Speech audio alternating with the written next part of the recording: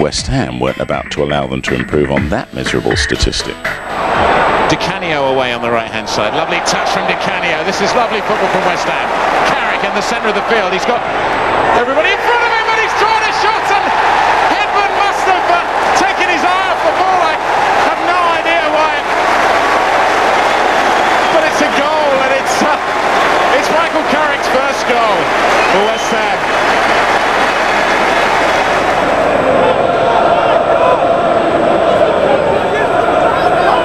Fans were singing Paolo Bonchofio, but it's Paolo Di Canio now who takes the corner. And it's a header there for Margas! And it's another player scoring his first goal for West Ham!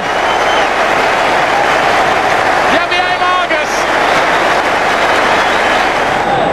Carrick. Di Canio in a lot of space. He hasn't got many options though, other than to run at the Coventry defence, which is what he's doing. Oh, what a goal!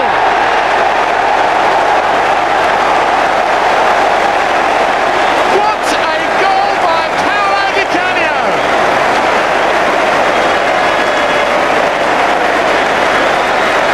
Hedman is dumbstruck. He struck it so cleanly, even despite that bobble the last minute. And look at that accuracy. I've seen Ferdinand never go at uh, Hedman. He fancies his chances here, perhaps. Lovely skills from Ferdinand all the way, almost. And he feeds Di Canio on the left. Di Canio, right-footed, left-footed, squeezes through. Minto all the way, crosses now.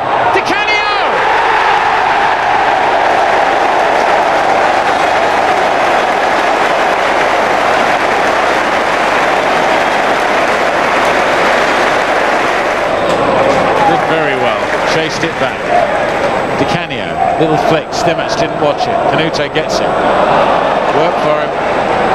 And again, Carrick picks out Minto. Never took his eye off the ball for one second. And that was the reason why he was able to do that. Lampard's in a bit of space. Might push it inside to Di Canio, trying to play the one-two. It's come back to Lampard. Strange ricochet. Carrick! Great save by Magnus Hedman. And that was on the right foot.